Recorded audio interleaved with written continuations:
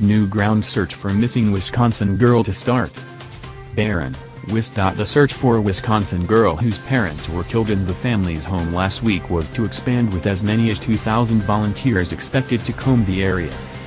The new ground search for Jayme Closs comes several days after an effort with 100 volunteers turned up nothing.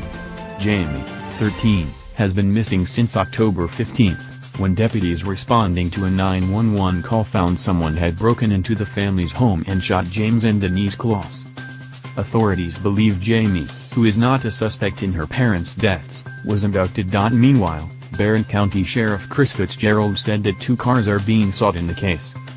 Fitzgerald said investigators are looking for a red or orange Dodge Challenger and a black Ford Edge or black Acura MDX that may have been traveling near the Closs family's home on the night of the killings. He said he didn't have information on the car's license plates. Fitzgerald said investigators have received more than 1,300 tips and have closed 1,100 of them.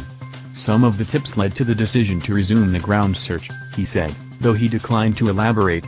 A sheriff's deputy and agents from the State Department of Justice and the FBI mapped the area by helicopter in preparation for search. We've determined we'd like to search a bigger search area based on information our investigators have collected, Fitzgerald said. These tips have led us to this. Jayme's classmates held a vigil for her Monday night at the Barron High School football stadium. Barron, a town of about 3,400, is about 80 miles, 128 kilometers, northeast of Minneapolis.